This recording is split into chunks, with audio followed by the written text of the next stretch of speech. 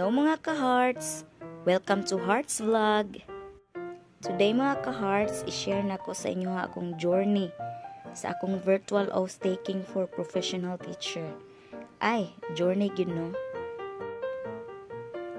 Before mag-start ang oath taking, magpagwapas ako para feel po na ko ang moment.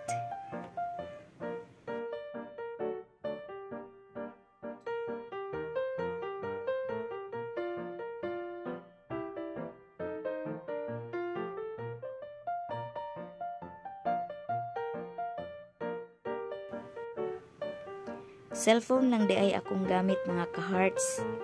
May paring light pod, pero hinulaman lang na siya. Dili na to kalimtan ang white backdrop. Gamit lang kog puti nga tela, kay wala man ko'y puti nga dingding or wall.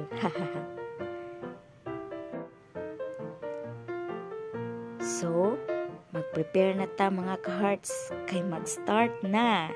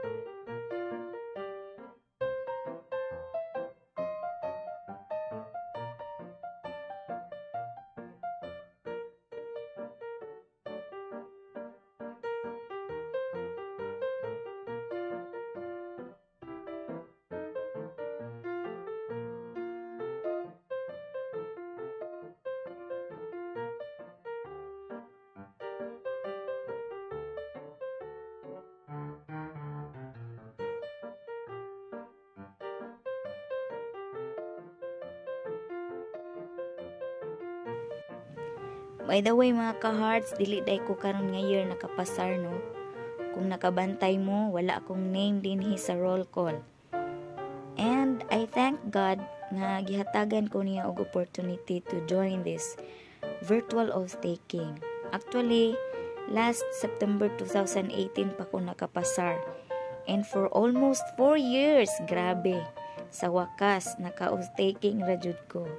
Salamat sa virtual oath taking Kay kung walay virtual or online, di gyud ko kaapil tungod dili na ko mabiyan akong mga kiddos. You know na. Sa katong mga nakapasar na atong time na face-to-face pang oath taking dayon, wala mo naka-join. Pwede ra gyud kaayo mo sabay mo karon sa virtual or online oath taking. And please take note of the following. If you are planning to join the virtual or online oath taking, install first the Zoom application and then make sure that you have a stable internet connection. The link will be sent to your email 1 to 3 days before the online oath taking schedule. Before the scheduled online oath taking ceremony, you are required to print the oath of professional form. It is downloadable at the PRC online services. Uh, sa ako, mga ka-hearts, wala gid ko naka-print. Nagpasulat ako sa akong supportive sister, Char. Thank you. Pero wala ra nagamit kay Tagalog ang nasulat then English ilang gigamit. Pero okay ra pod gihapon kay naka-flash raman sa ilang screen. Pero i-print ra gihapon nako to mga ka-hearts basin appeal to sa requirements para mag-claim sa ID.